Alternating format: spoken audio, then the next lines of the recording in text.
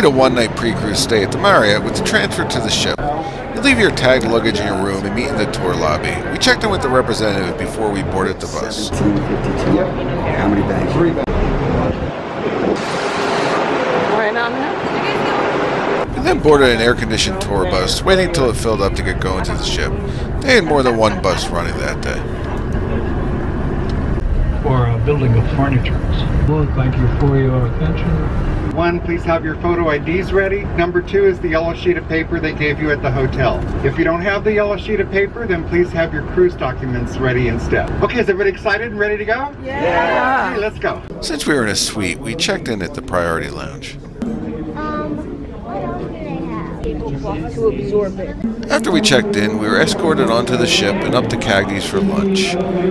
All in all, it took about an hour from the time we met in the tour lobby until we were on the ship. Welcome aboard glass of champagne.